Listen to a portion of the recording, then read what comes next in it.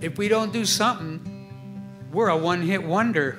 We've waited all these years, worked our butts off, done all this stuff, and that's it. Because that spotlight, I even told the guy, the spotlight shines on you because you did something good. And then it keeps shining on you. If you do something good again, right, right. But if you do something that's not good, and we've all heard that, it's oops, okay, next. You What know, have you done for me lately? and and not only have you not made it, it's worse. They know about you now. They Yeah, know you're bad, right? Yeah. I mean, you you're kind of thrown away. I didn't want that to happen. I was getting busier and busier writing songs. So when the first album was about ready to come out, we'd already recorded it. I went to the guys and said, "Look, this is kind of not right. I've written all these songs.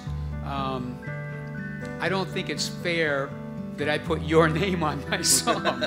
I said, "I tell you what we'll do. We'll share the songwriting money equally, and we'll share the songwriting money for the first, first four albums until the end of 1969. Okay, you know, they, okay, that's cool. I wanted to do that so no one would feel, what's the word, edgy about, because we were poor as church mice right then. And I didn't want to look like I was reaching in somebody else's pocket. In you your know. mind, this was fair. Huh? In your mind, this was fair. Very, very fair, yeah.